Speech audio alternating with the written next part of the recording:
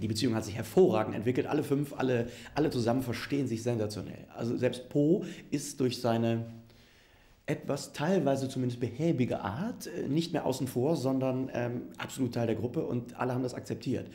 So wie der eine eben klein ist und der andere groß, der andere schlank und schnell, so ist Po eben ein bisschen korpulenter. Und äh, es spielt alles keine Rolle mehr, weil alle haben akzeptiert, dass, ähm, dass Gemeinsamkeit und das Teamgeist das Entscheidende ist und das funktioniert auch sehr gut.